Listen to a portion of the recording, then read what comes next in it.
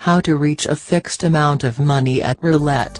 The answer is easy, fix a purpose you want to win and try to reach it in multiple sessions. If you want to win, for example, 100 euros in one day, then try to reach it in 5 sessions. By winning 20 euros during each of the 5 session, at end of day you will have 100 euros.